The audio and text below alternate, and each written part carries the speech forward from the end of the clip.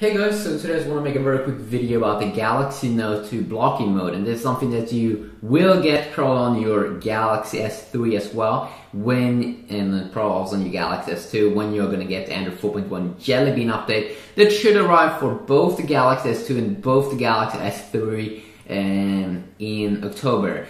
And we do know the Galaxy S3 Jelly Bean update is rolling out right now. I saw an article that's rolling out in Korea. I've seen it rolling out in Poland and it's probably rolling out very, very soon to other regions in the world. So let's go ahead and take a look at the blocking mode. It's it's actually like it works like iOS 6 mode, the do not disturb mode. It's basically a wonderful mode when you don't want to get disturbed or, you know, but in Android over here with Samsung's TouchWiz, it's called blocking mode.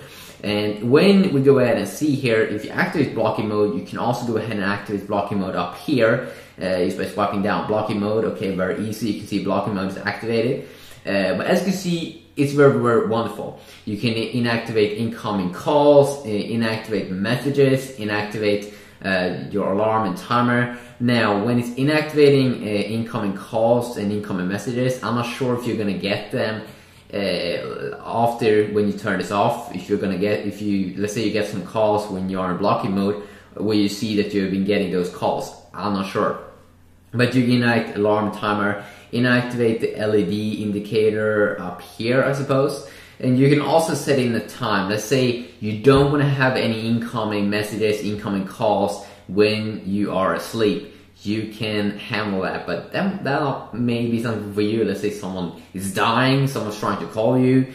Maybe not that good, maybe not that good. Uh, but it's very useful, like for me when I'm doing videos like this, is uh, activate blocking mode and no one can, you know, contact me. It's awesome.